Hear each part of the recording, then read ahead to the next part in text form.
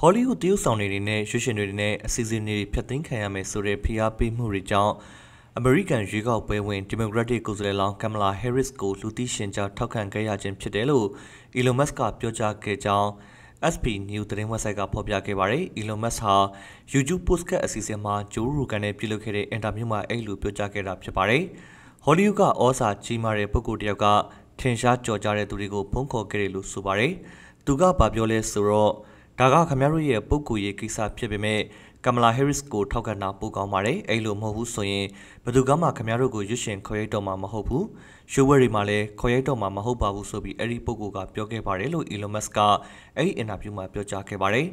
အဲ့ဖုံးပြောဆိုမှုဟာချင်းချောက်တဲ့လေသာမဟုတ်ပဲအလွန်ယဉ်ကျေးပြီးခင်မင်ရည်တည်တဲ့ပုံစံမျိုးနဲ့ပြောကြားခဲ့ခြင်းဖြစ်တယ်လို့ Elon Musk ကဆိုပါတယ် ချင်းချောက်မှုလို့သုံးစရာမလိုပါဘူးဒါပေမဲ့လူတိုင်းကဒါပါလဲဆိုတာသိပါတယ်လို့ Musk ကညီကုန်းချုပ်ပြောကြားခဲ့ပါတယ်ကမ္ဘာချမ်းသာဆုံးပုဂ္ဂိုလ်ဖြစ်တဲ့ Elon Musk ဟာ